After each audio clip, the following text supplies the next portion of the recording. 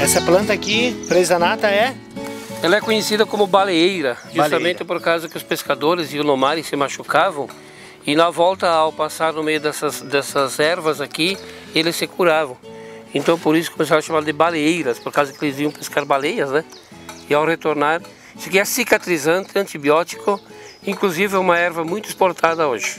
Essa planta, como é que tu consegue ela, Zanata? Ela é, é de fácil? Eu consegui essa aqui na, na praia, beira-mar. É uma árvore que dá na beira-mar, Litorânea. Aqui eu plantei e ela produziu, veio muito bem. fácil?